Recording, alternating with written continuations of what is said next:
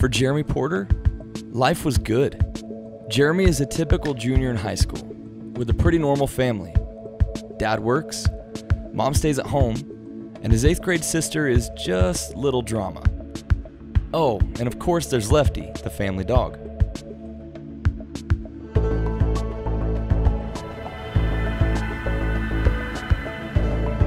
Jeremy's got great friends.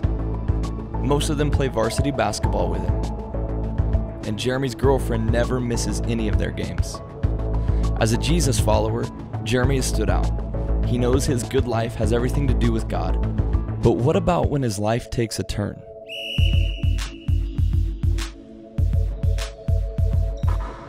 You see, close by a bet has been made between two figures.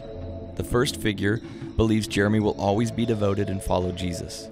The second figure believes Jeremy will forsake everything about God as soon as life becomes difficult and unfair.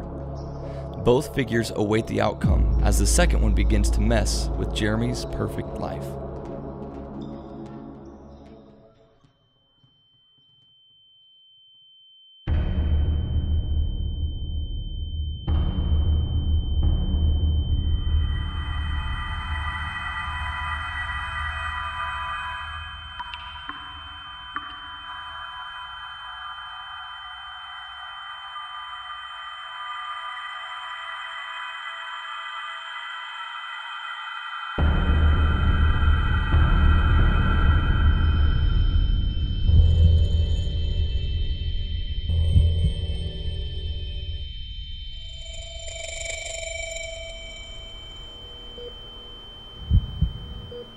This had never happened to Jeremy before. His mom insisted their family doctor run all kinds of tests. The results were not good. Brain cancer. Jeremy couldn't even bring himself to say it. It still didn't even seem real. But it was real.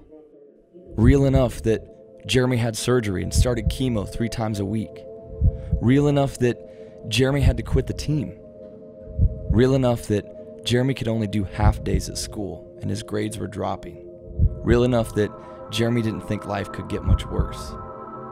But it did. Jeremy's dad lost his job. His parents wouldn't stop fighting. His dad eventually moved out. His girlfriend dumped him. Even Lefty, their dog, was gone, found dead by the side of the road. Jeremy couldn't believe it. He wanted to trust God through all of this, but he just didn't know if he could.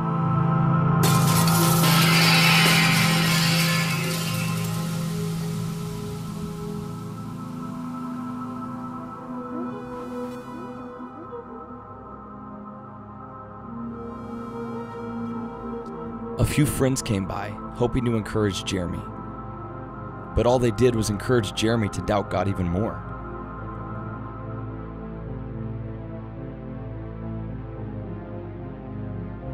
Later in the day, someone from Jeremy's small group at church came by. His name was Carson. Jeremy didn't know him very well, but appreciated the visit. Carson encouraged Jeremy that he and the rest of the group were praying for him. He encouraged Jeremy to continue trusting God no matter what.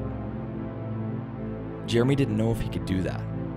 Just then, the doctor's office called. He needed to see Jeremy right away.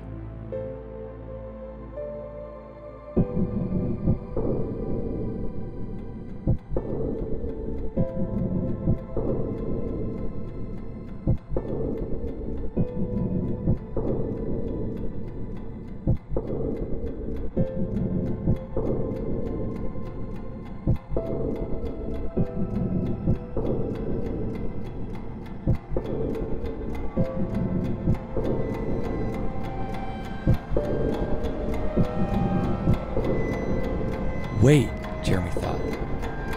Terminal?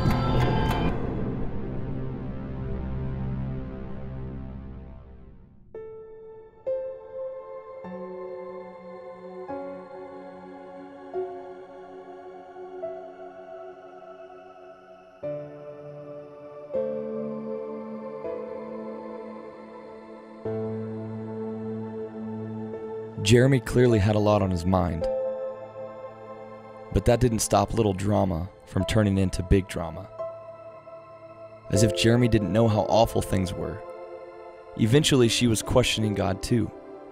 If God is real, why would he take my brother away? Jeremy still had no answers.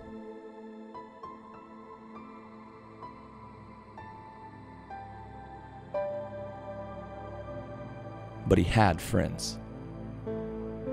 Carson kept coming by, and the rest of the small group from church joined him. They told Jeremy not to give up hope, to keep trusting Jesus through all this. And they prayed.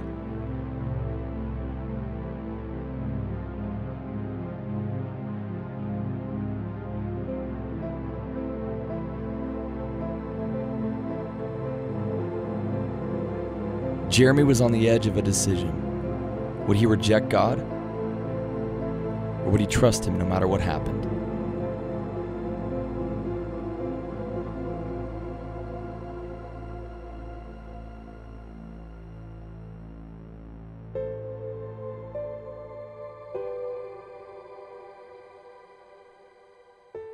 Jeremy realized that when he decided to follow Jesus, he wasn't guaranteed a perfect life but he was guaranteed that Jesus would always be with him. He would never fail or abandon him.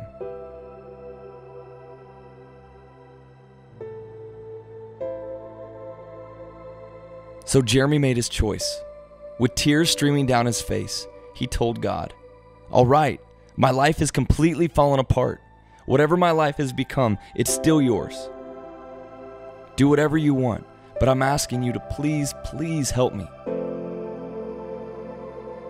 And in that moment, he felt a peace inside his heart that he had never known. And that peace alone was an answer from God that he was still with Jeremy, that he would always be with Jeremy.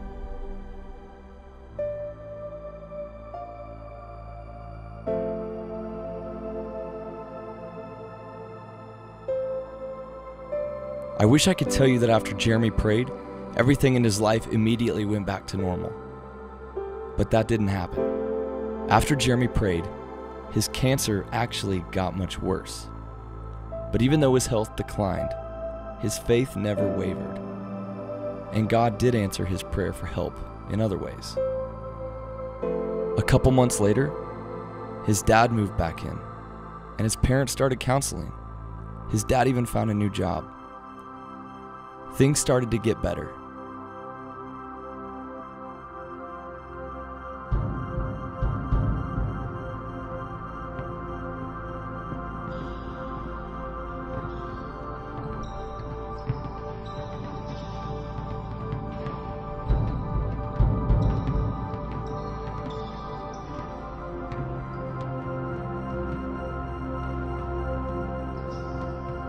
then it happened a miracle. The doctors had no explanation. Jeremy's health got better and better. Today, his cancer is gone. The doctors still do tests every month just in case. Jeremy is a stronger Jesus follower than he ever was before. He knows difficult times will come again. Difficult times always come. The question is, who will see you through those times? Jeremy knows who. Close by, a bet is being settled. The loser reluctantly admits that Jeremy continued to follow God regardless of the difficulty he faced. But he holds on to the fact that Jeremy almost turned away. The winner merely smiles and adds, but he didn't.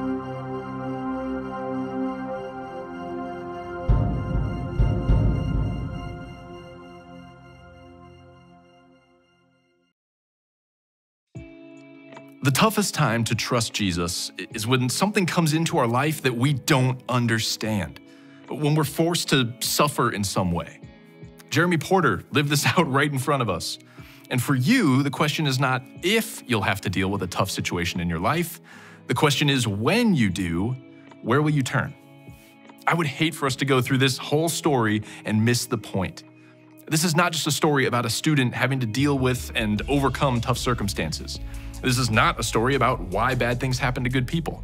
This is a story about trust. When we're at our lowest, most broken point, when our faith is on the line, will we still trust God or will we fall? It's a choice. And it's not a choice we only have to make once, it's a choice we will have to make over and over and over again. And there's a word for this. You saw Jeremy come to this moment in his backyard. And the word that describes this process of choosing to trust God is surrender. Now, when we hear that word in maybe sports or stories about history, we usually associate it with weakness, like with losing.